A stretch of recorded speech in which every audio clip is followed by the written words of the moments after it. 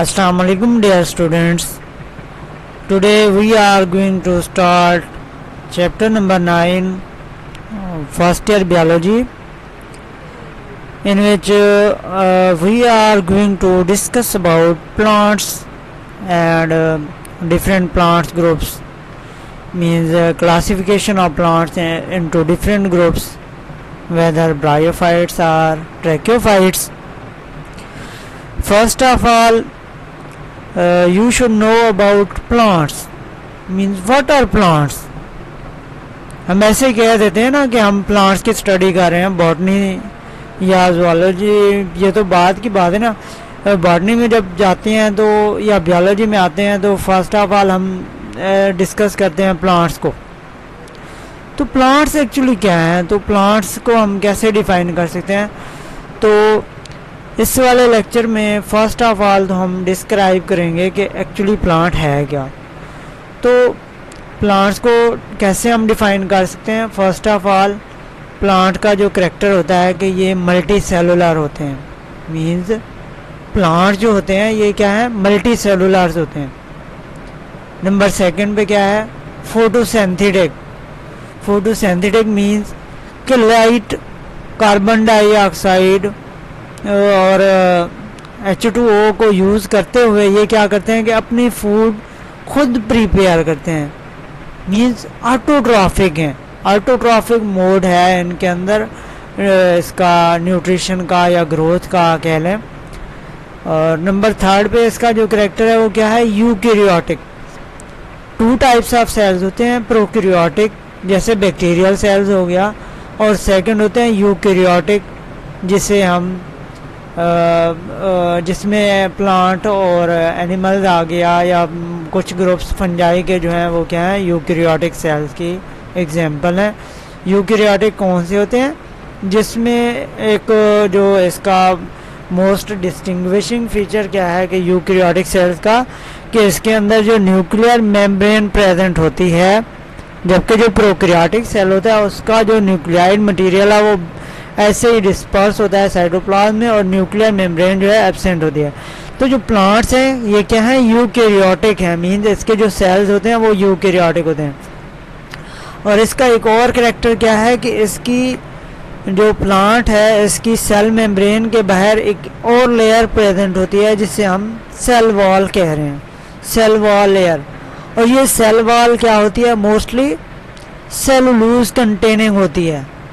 Plants के अंदर cell wall present होगी और सेल वॉल क्या कंडक्ट अपना कंटेन करेगी सेलुलोज तो ये थी प्लांट्स की डेफिनेशन तो नेक्स्ट जो है, हम डिस्कस करेंगे किंगडम प्लांटी की जो कैटेगराइज किया गया है इसको इनटू मल्टीपल ग्रुप्स तो ये हमने एक सिंपल सा लेआउट बनाया है आपकी थोड़ी अंडरस्टैंडिंग के लिए। तो आप अगर इसको अपने माइंड में फिट कर लेंगे तो आप एग्जामिनेशन पॉइंट ऑफ़ व्यू से आप इसको डिस्कस करेंगे, इसकी क्लासिफिकेशन को। तो मुझे लगता है कि ये आपके लिए एज़ कंपेयर थोड़ा आसान हो जाएगा। तो जब हम डिस्कस करते हैं किंगडम प्लांटी को तो फिर आगे इसको हम नेक्स्ट मेजर टू ग्रुप्स में डिवाइड करते हैं। Bryophytes and tracheophytes first of all हम डिस्कस करेंगे ब्रायोफाइट्स को। ब्रायोफाइट्स में क्या होता है कि those plants in which vascular tissues vascular tissues कौन से होते हैं? Xylem and phloem xylem and phloem ये क्या होते हैं? ट्यूब्यूल लाइक या ट्यूब लाइक स्ट्रक्चर्स होती हैं, जो वाटर या मिनरल्स की कंडक्शन या फ़ूड की जो ट्रांसलोकेशन है, उसके लिए रिक्वायर्ड है। तो ये जो ब्रायोफाइट्स हैं, इसके अंदर जो वेस्कुलर टिश्यूज हैं, वो क्या होते हैं? एबसेंट होते हैं। और सेकंड ग्रुप क्या है हमारे पास? ट्रैक्योफाइट्स ट्रैक्योफाइट्स में क्या होता है कि वेस्कुलर जो बंडल्स हैं जैलम एंड फ्लोएम वो प्रेजेंट होते हैं। ये इनका मेजर जो डिफरेंस है दोनों ग्रुप्स का। और ब्रायोफाइट्स पे वैसे हमने नेक्स्ट जो है लेक्चर में कम्प्लीटली डिस्कस करना है कि ब्रायोफाइट्स कैसे होते हैं, उनकी स्ट्रक्चर कैसी होती है। ब्रायोफाइट्स का लाइफ साइकिल जो मोस्टली जो मोसेस का लाइफ इसका जो ग्रुप है मोसेस क्लास है इसकी मोस इसका जो लाइफ साइकिल है वो हमने नेक्स्ट लेक्चर में डिस्कस करना है। लेकिन इधर हम थोड़ा सा इसका ब्रीफ सा जो है क्लासिफिकेशन शो कर देते हैं। तो ब्रायोफाइट्स को फिर नेक्स्ट तीन क्लासेस में डिवाइड किया गया है। फ़र्स्ट जो है हेपाटिकोपसीडा हेपाटिकोपसीडा इसकी जो रिसेंट जो टर्म यूज़ की जाती है, वो क्या होती है? हेपाटिका लेकिन आपकी बुक्स में आई थिंक मेंशन होगा हेपाटिकोपसीडा तो हेपाटिकोपसीडा जिसे हम लिवर वॉर्ड्स भी कहते हैं। लिवर वॉर्ड्स क्यों कहते हैं? क्योंकि इसकी जो गेमेटोफाइट या थैलस की शेप है, वो बिल्कुल लिवर की तरह होती है। और ये लिवर डिज़ीज़ में यूज़ भी होता है एज ए मेडिसिनल प्लांट तो इसलिए हम इसको क्या कहते हैं? लिवर वॉर्स सेकंड पे हमारे पास क्या होता है? मसी या जिसे हम मोसिस कहते हैं मॉस तो ये क्या है हमारे पास? ब्रायोपसीडा इस ग्रुप को हम क्या कहते हैं? ब्रायोपसीडा और नंबर थर्ड पे हमारे पास क्या आ जाता है? एंथोसिरस, या एंथोसिरोटी।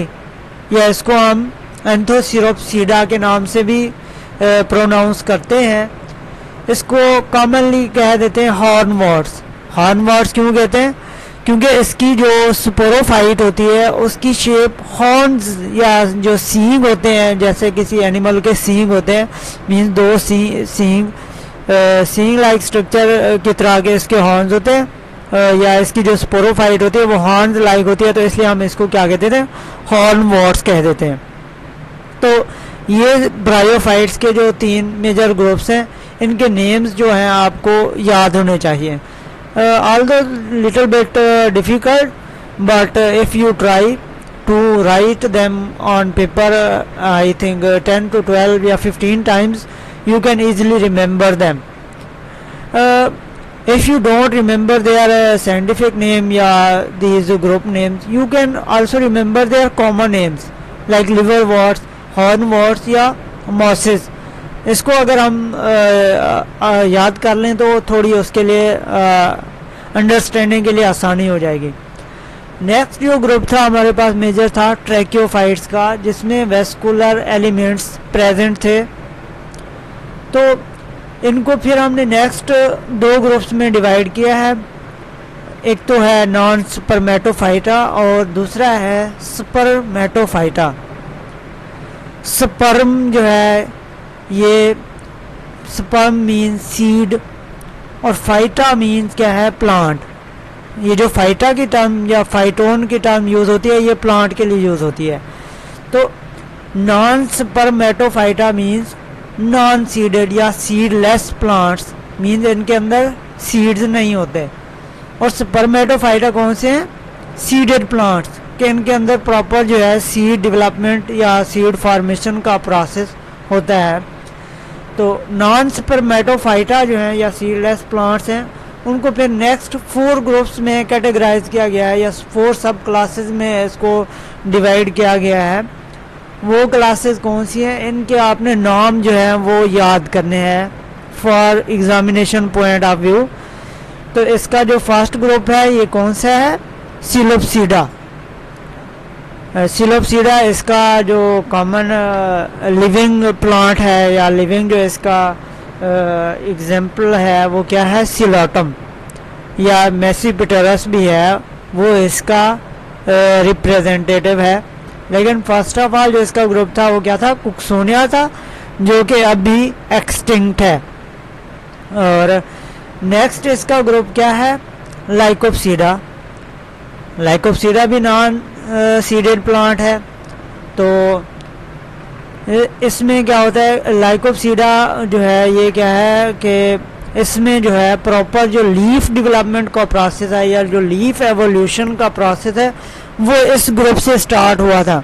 ब्रायोफाइट्स जो थे, उनमें कोई ट्रू रूट लीव या स्टेम लाइक स्ट्रक्चर नहीं थी, लेकिन जो ट्रैक्योफाइट्स हैं, इनमें लीफ और जो रूट्स डेवलपमेंट थी, वो स्टार्ट हो गई थी स्टेम डेवलपमेंट तो लाइकोपसीडा वो ग्रुप है, जिसमें लीफ एवोल्यूशन का प्रोसेस स्टार्ट हुआ था। About three fifty million years ago next जो इसमें ग्रुप है वो कौन सा है? स्पिन ऑफ़ सीडा और नेक्स्ट ग्रुप क्या है इसका? टेरोपसीडा सीडा क्या है? इसका मोस्ट इंपॉर्टेंट ग्रुप है, जिसे हम फंड्स कहते हैं। फंड्स क्या है? नॉन सीडेड है फंड का लाइफ साइकिल भी मोस्ट इंपॉर्टेंट है। ये हम नेक्स्ट डिस्कस करेंगे कि फर्न जो प्लांट्स हैं उसका लाइफ साइकिल किस तरह से है। तो ये थी ये जो फोर मेजर ग्रुप्स हैं, इनके नाम आपको याद होने चाहिए, क्योंकि एग्ज़ामिनर जो है एज ए शार्ट क्वेश्चन इनमें से कोई पूछ सकता है, या मे बी ऑब्जेक्टिव वाइज भी ये जो है इंपॉर्टेंट है तो आप इनके नाम याद कर लें। सेकंड जो इसका ट्रेक्योफाइट का मेजर ग्रुप था, वो क्या था? Spermatophyta means seeded plants seeded plants those plants which can produce या which have the ability to produce seeds in specific structure then these seeded plants are further divided into two major groups or classes first class is gymnospermae and second is angiospermae gymnospermae कौन सी है? इसको फिर हम next मजीद जो define करते हैं gymnospermae को नेकेड सीडेड मीन्स के इसके अंदर सीड तो प्रोड्यूस होते हैं, लेकिन वो प्रोटेक्टेड नहीं होते थ्रू ओवरी और प्रॉपर जो फ्रूट है, जैसे एंजियोस्पर्मिक प्लांट्स हैं, उसमें फ्लावर डेवलपमेंट है और फ्रूट डेवलपमेंट है। ओवरी जो है राइपेंड ओवरी उसको हम क्या कह देते हैं? फ्रूट कह देते हैं। तो फ्रूट या ओवरी क्या है? सीड की एक प्रोटेक्शन मेकानिज़म है। जो कि जिम्नोस्पर्म में एबसेंट है। जिम्नोस्पर्म में जो स्पोरोफिल्स स्पोरेंजिया को बियर कर रहे होते हैं, वो क्या होते हैं? जब जब वो लीव एक्सपोज होता है तो उसके जो स्पोरेंजिया हैं, वो सीड को बाहर की तरफ़ जो है इजिली एक्सपेंड कर देते हैं। मीन जो उनका सीड है, वो नेकेड होता है। जबकि एंजियोस्पर्म का जो लीफ है स्पोरोफिल है, वो फोल्ड हो जाता है। और फोल्ड होके एक कोन लाइक या एक, सब ओवरी स्ट्रक्चर बना देता है और ये वाली ओवरी जो है नेक्स्ट डेवलपमेंट के थ्रू फ्रूट फार्मेशन कर देती है। और ये वाले जो सीड्स होते हैं, इनको हम कवर्ड सीडेड कहते हैं। कवर्ड क्यों? क्योंकि ये वाला जो सीड है प्रोटेक्टेड है through the layers of ovary और जो इसका जो फ्लावर है फ्लावर के थ्रू उसकी प्रोटेक्शन होती है। तो ये थी किंगडम प्लांटी की मेजर जो ग्रुप्स की डिस्क्रिप्शन आगे फिर हम नेक्स्ट लेक्चर्स में फ़र्स्ट ऑफ़ ऑल हम ब्रायोफाइट्स को डिस्कस करेंगे, इसके मेजर ग्रुप्स को डिस्कस करेंगे एंड देन सेकेंड लेक्चर में हम उसको स्टार्ट करेंगे ट्रैक्योफाइटा को। उसमें एक लेक्चर हमारा होगा नॉन सुपरमेटोफाइट्स के ऊपर, और एक लेक्चर हम देंगे जिम्नोस्पर्मी पे, और एक लेक्चर होगा हमारा एंजियोस्पर्मी पे। और इस तरह हम इस चैप्टर को आ, अपना डिवीज़न करेंगे इसकी इस तरह से। पाँच से छः लेक्चर में कोशिश करेंगे कि ये वाला कंप्लीट हो जाए। तो आ, हम जब बात करते हैं प्लांट्स की तो लाजमी नहीं कि जो प्लांट्स में लाजमी नहीं कि रूट्स या लीव्स या स्टेम स्ट्रक्चर हो तो हम कहेंगे कि ये प्लांट है।